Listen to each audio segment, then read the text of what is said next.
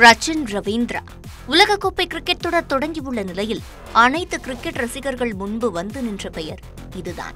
இந்த பெயருக்கும் இந்தியாவுக்கும் ஏதோ தொடர்பு இருப்பதாக நினைத்த அனைவரும் நாடியது கூகுளைத்தான்.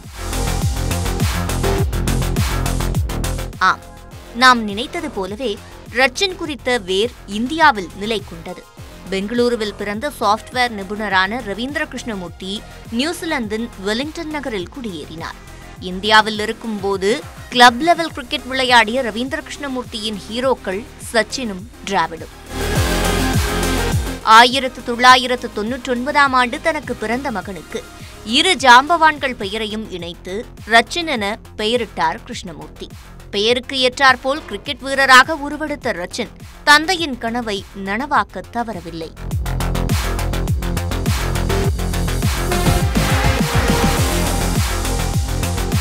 இரண்டாயிரத்து இருபத்தொன்றில் நியூசிலாந்து டெஸ்ட் அணியில் இடம் பிடித்த ரச்சின் இந்தியாவுக்கு எதிராக அறிமுகமானார்.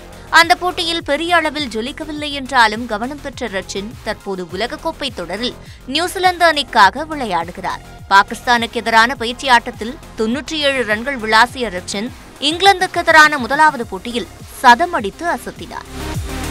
பத்து ரன்னில் நியூசிலாந்து முதலாவது விக்கெட்டை இழந்த நிலையில் களம் கண்ட ரச்சின் டிராவிடை போல நிதானமாகவும் சச்சினை போல வேகமாகவும் விளையாடி தந்தை தனக்கு வைத்த பெயர் சரிதான் என்று மெய்ப்பித்தார். நியூஸ் எயிட்டின் தமிழ்நாடு செய்திகளுக்காக பெர்லின் மோசஸ்.